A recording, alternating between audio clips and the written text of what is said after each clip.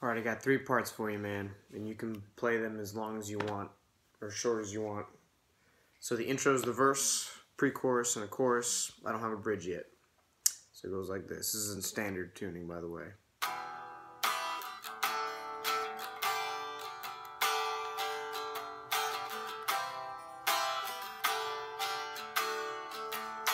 I'll call those chords E minor, D over F sharp, G, C, G, D.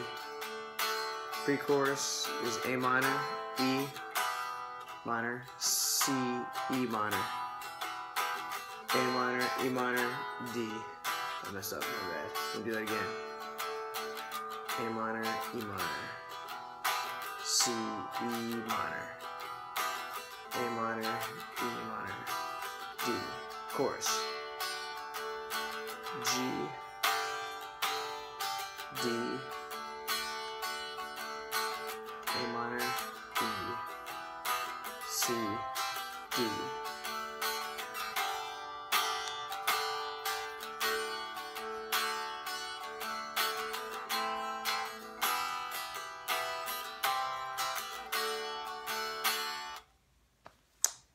Mess with that.